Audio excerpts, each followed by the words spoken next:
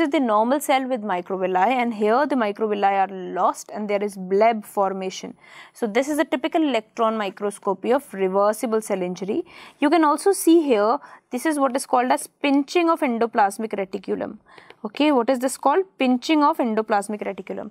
So actually this is cause said to be the main mechanism behind the hydropic change. So whenever the water, excess water comes into the cytoplasm, okay, this starts causing pinching of endoplasmic reticulum that causes a lot of hydropic change and that is why cell appears very uh, hydropic or uh, ballooned out, okay. So that's the main mechanism behind, you know, hydropic change if somebody asks you, okay. So that's your reversible cell injury. Okay okay now look at this. So everybody should identify this organelle. This has cristae in it. So this is normal microvilli which everybody should know okay?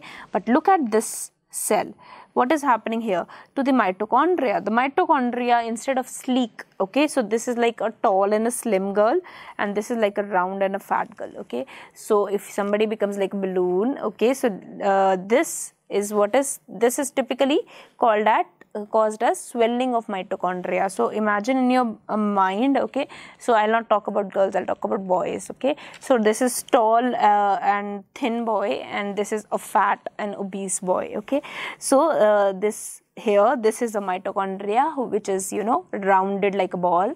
So that's swollen mitochondria okay and that's very typical of reversible cell injury but if you start seeing amorphous densities in this okay like this then it becomes irreversible cell injury okay? So for reversible injury it is just swollen okay big fat okay swollen mitochondria.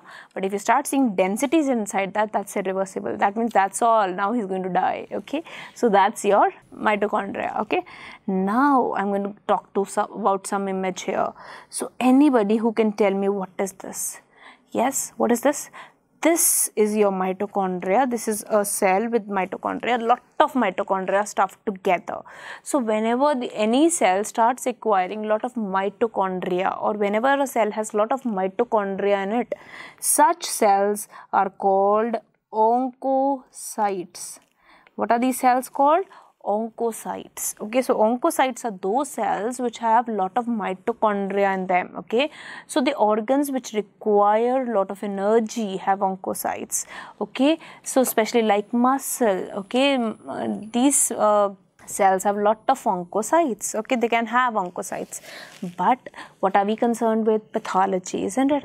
So whenever a cell has a lot of oncocytes such cells because oncocytes mitochondria present in the cytoplasm so whenever cells have lot of oncocytes these cells start acquiring abundant pink cytoplasm. So let's look at the image of it.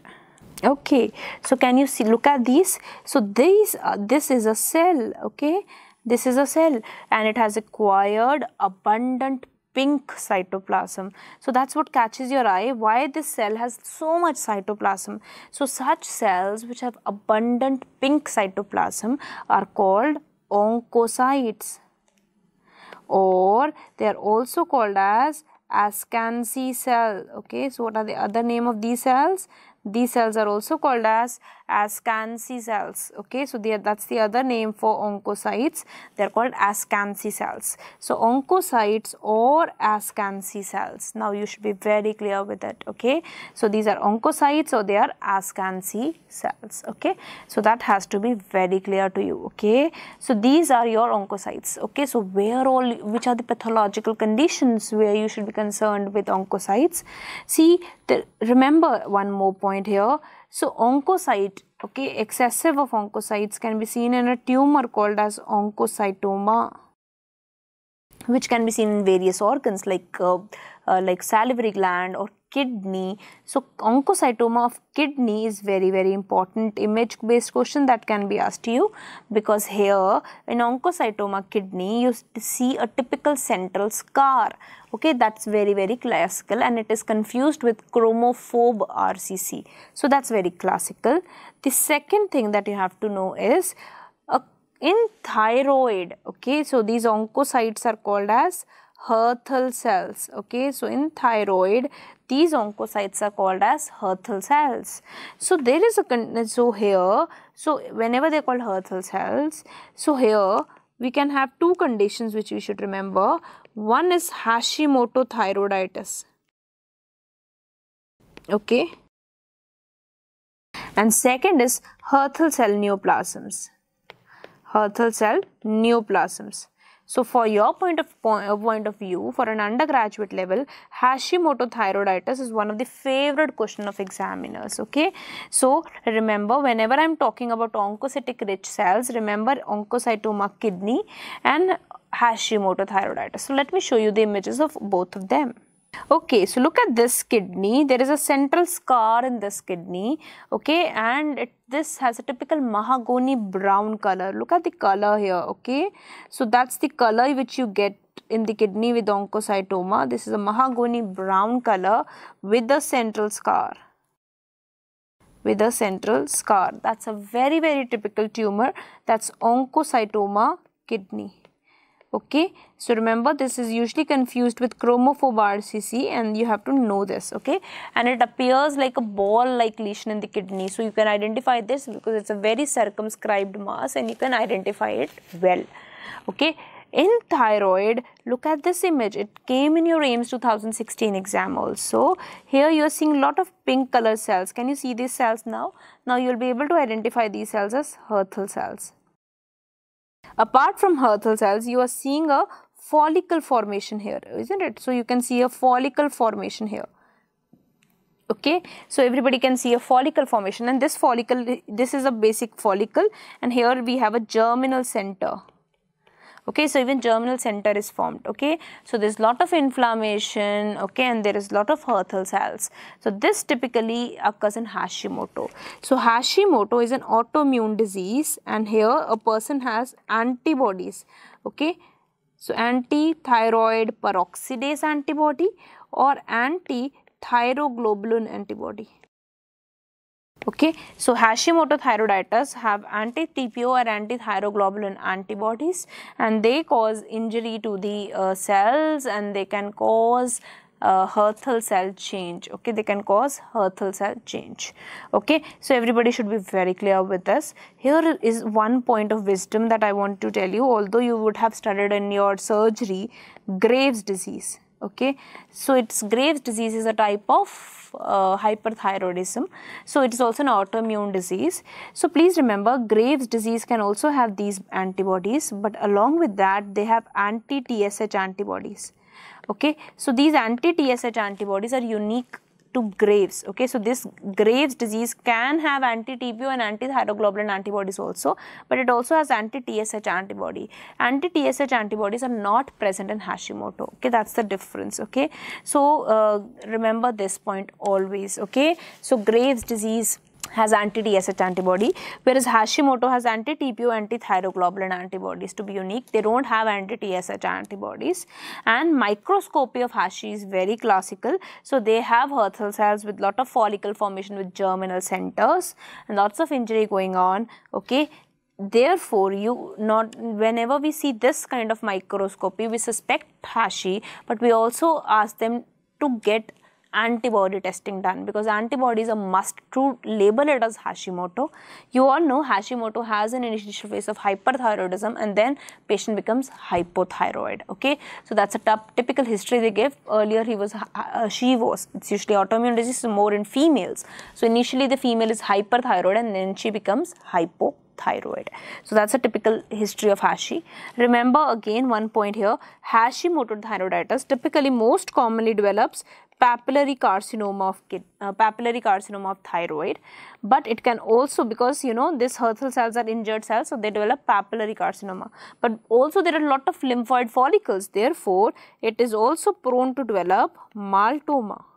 So there are two cancers which are very common in Hashi okay papillary carcinoma and Uh, and maltoma which is more common if somebody asks you. Papillary is more common than maltoma okay? So papillary is more common than maltoma. So that's your Hashimoto thyroiditis which you should remember. In grave disease the microscopy that you typically see is you see scalloping of colloid okay? So usually see this uh, colloid which is undergoing scalloping. So you see a lot of hyperactivity. Patient is having a typical signs of hyperactivity scalloping of colloid. So then you order for anti-TSH antibodies which are typically present in Graves disease okay? So scalloping of colloid okay? That is usually seen in Graves disease. Right okay so remember this so hashi okay so these are all your oncocytic changes which you should remember. So this was an important high yield topic which I told you here. So this came from your mitochondria. Remember that. So we because this is a revision module so we should discuss all the tentative questions that can be asked you in exams and we should not confuse any one of them. Okay. Right. So can you answer this question now? So cloudy swelling of the cell is due to. So everybody knows cloudy swelling is nothing but it is ballooning or hydropic change and it is because of accumulation of water intercellularly. So everybody should know the cell, okay. So it becomes very very clear okay very hydropic okay so that is what is called hydropic change of the cell that's what is called hydropic change of the cell that should be very clear. Also remember this image that they can give you an exam? These are myelin figures which are nothing but phospholipid whorls and this can be seen only on electron microscopy. So remember whorls when i'm talking about? Okay so whorls can be seen on h&e okay on the light microscopy or it can be seen on electron microscopy. If you're seeing on electron microscopy it is myelin figures okay? If you're seeing a very well defined concentric whorls on H&E this is what is called psammoma bodies okay which is nothing but a type of dystrophic calcification. So on the light microscopy, if you are seeing the whorls, it is your psammoma bodies. If you are seeing on electron microscopy, it is your uh, phospholipid whorls that is myelin figures. Also remember squamous cell carcinomas can show you very ill defined whorls like this. What are they called? Like this and in between the center there is a pink color material. So this pink color material inside is keratin and the cells which are whirling around are pearls. So these are called keratin pearls. What are they called? Keratin pearls. So whenever you see keratin pearls in squamous cell carcinoma, it is a feature of well differentiated squamous cell carcinoma. So differentiation. So keratin pearls just show you differentiation. So whenever you see pearls on squamous cell carcinoma, that means it's a well differentiated squamous cell carcinoma. So this is two points you have to remember, psammoma bodies and keratin pearls. So let us look at the images of the pearls also so that we are very clear with the images, right? Okay. So look at these two images here. When first image which you are seeing here, okay, can you see here that there are concentric whorls but there is some basophilic material which is center it's having a little bit of blue color. So remember because calcium whenever i'm talking about calcium it is usually a amorphous blue color okay? It gives you a basophilic okay? Bluish purple color basically. So whenever you are seeing a whorl made up of little bluish color or a very well defined whorls like this something that has been cut like a tree bark which has been cut so that is your psammoma body. Psammoma body is a calcium so it gives you a bluish tinge. Whereas look at this okay? So here there is a pink material in the center that is keratin in the center. Some of the time you can even see you know broken up nucleus in the center and around that there are whorls like this okay so like this. So you can see the pink material in the center and around that there are irregular whorls and you can even see malignant cells okay cells with uh, which have mm, they, they are having lot of polymorphisms okay. So malignant cells around it. So this is what is and they have you know they can vary in size they can be very small they can be very big okay. So these these are your keratin pearls. These are your keratin pearls. So on your low power okay so everybody should be able to identify a psammoma body which is a type of dystrophic calcification you, which everybody I hope remembers can be seen in your papillary carcinomas of thyroid okay any papillary carcinoma of the body okay? So papillary carcinoma of thyroid papillary carcinoma of kidney papillary carcinoma of ovaries called as serous tumors. It can be seen in meningiomas okay? It can be seen in meningiomas. It can be seen in prolactinomas okay? It can be seen in glucagonomas okay? So it it can be seen in various tumors of the body wherever there is dystrophic calcification. Whereas keratin pearls always indicate well differentiated squamous cell carcinoma. So, you should be very, very clear about it. Okay. So, that is your difference between all the whorls that you see in pathology. Okay. Right. Clear.